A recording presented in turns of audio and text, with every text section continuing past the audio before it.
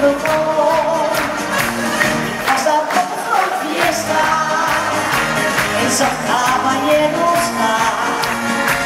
Entonces sale